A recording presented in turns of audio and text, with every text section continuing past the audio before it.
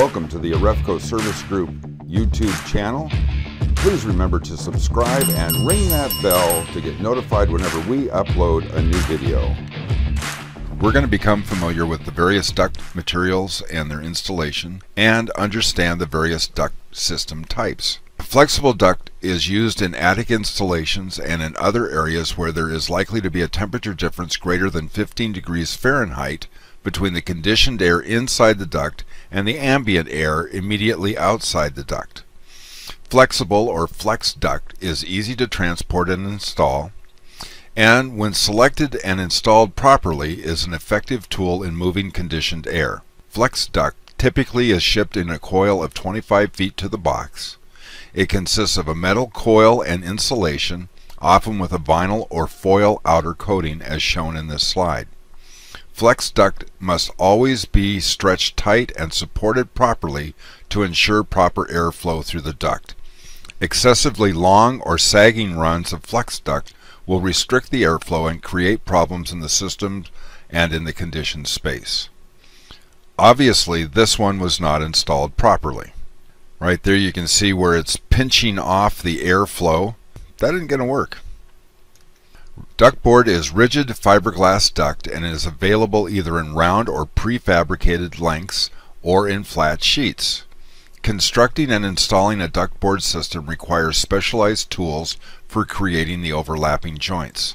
When two pieces of ductboard are joined, they are stapled with a special stapler and taped. The ductboard in its design offers built-in insulation and is light and easy to transport. Fiberglass ductboard is commonly used for box plenums, extended plenums, and to run trunk lines in both residential and light commercial duct systems. The tape used to tape joints must be approved for the clo closure of all joints. Sheet metal duct is the most common means of distributing air. Metal duct systems may be assembled in the field from prefabricated components or constructed at the contractor shop. This method of air distribution is frequently used in residences that have basements or crawl spaces, since this type of structures have the physical space needed for mounting the duct beneath the floor joists. Sheet metal duct can also be used in attic installations. Sheet metal duct must be handled with care. The metal edges are razor sharp and can cut skin easily. Always wear gloves when working with sheet metal. Keep in mind that the installed equipment is only as good as the duct system allows it to be. The system equipment is selected to deliver fixed quantities of air, measured in CFM, to specific areas in the occupied space. But if the air distribution system is not properly sized and balanced, even the finest equipment will not deliver the calculated flow of air. The system will not function as intended, and unnecessary callbacks which could have been avoided, may occur. The image on the right is an air handler, which includes the fan, together with the supply plenum and a portion of the trunk line. At the left are two wall stacks and registers. What's missing from the drawing is the duct system in between connecting the condition air conditioning equipment and the wall stacks. There is no single best method of installing a duct system. There are sound arguments for the use of round pipe in small residential jobs and equally good reasons for the use of rectangular ducts. Both types of ducts are common in use. An installer may have occasion to install both types, sometimes even in the same installation. We are not concerned with the duct shape, but in the way in which ducts are located between the heating and cooling equipment and the registers in the room of the house. The duct configuration selected for use depends on conditions in the structure where the equipment is to be installed. In an actual duct system design, the ducts are often slightly oversized. Dampers are used for the final balancing of the system. Balancing the system is an adjustment process. The air supply to one room is reduced and then that to the other room is increased. The object is to obtain the desired air temperatures in all the rooms equally.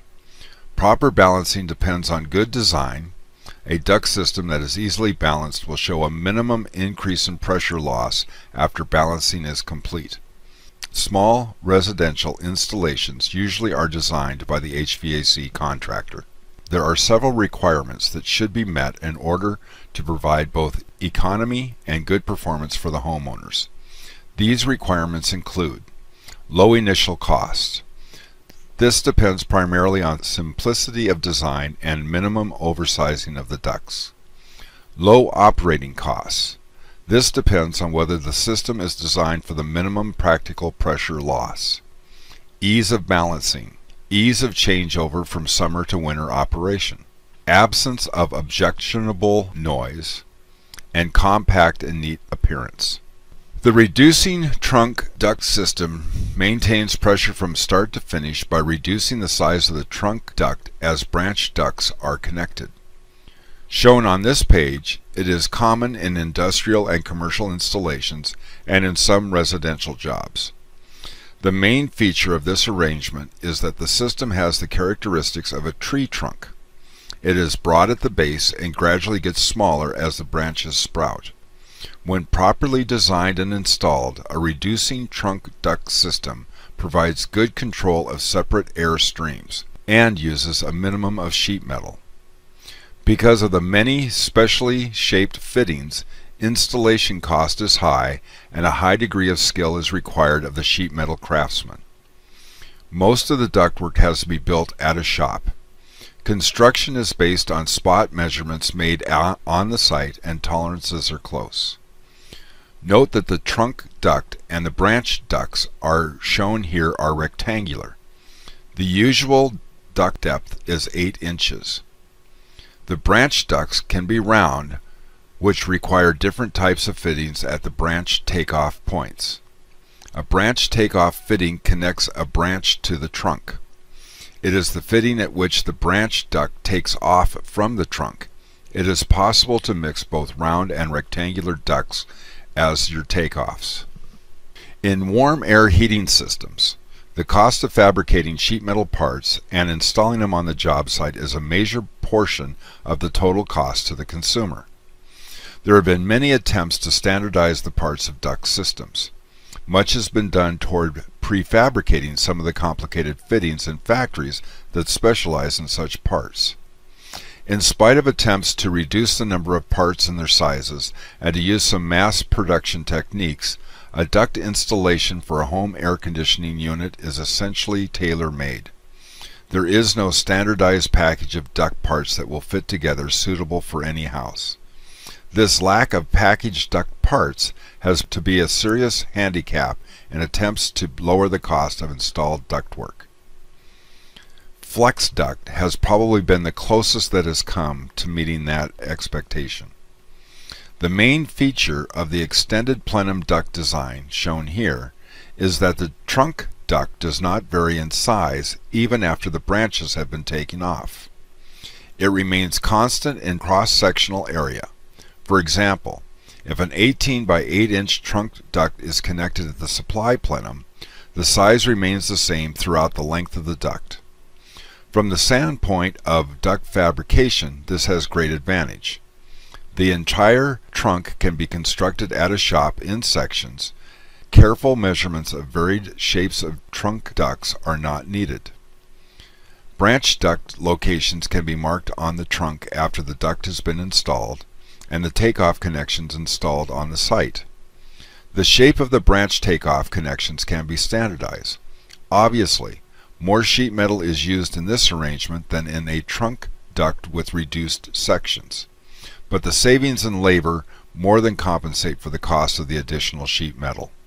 There are only two types of takeoff connections for branch ducts. One is for a side takeoff as illustrated here. The other is for a takeoff from the top of the trunk.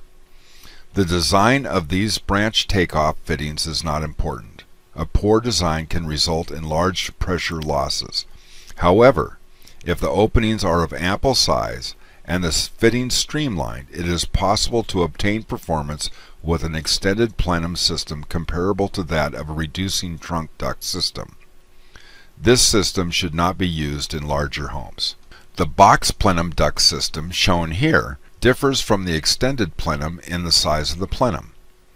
The box can be quite large, in some cases 3 feet wide and 10 inches deep. This size would be big enough to fill a hallway ceiling space.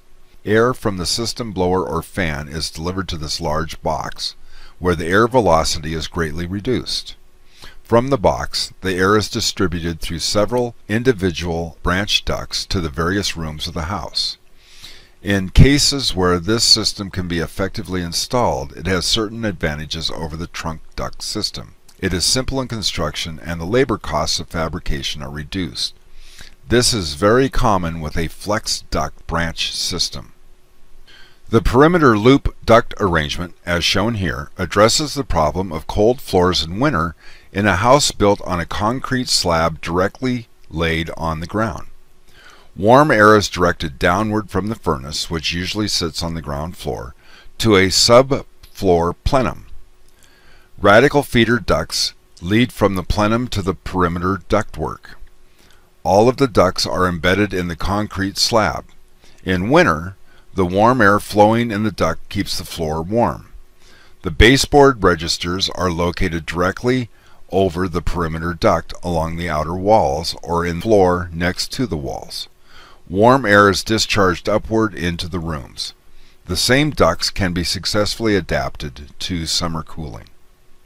The registers in the perimeter radial duct arrangement are located in the floor or in the baseboard along the outer walls.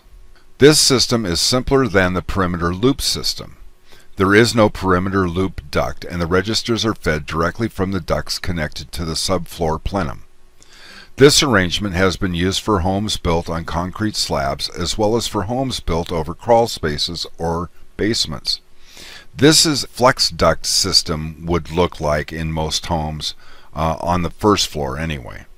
In homes built on concrete slabs, the perimeter loop duct system provides more uniform floor temperatures, especially in cold climates. The perimeter radial duct arrangement can also be used for summer cooling. This system can be called an individual duct system since no trunk duct is involved. It is one of the easiest systems to design and install, and, but can prove to be more expensive than using a trunk duct, unless you're using flex duct.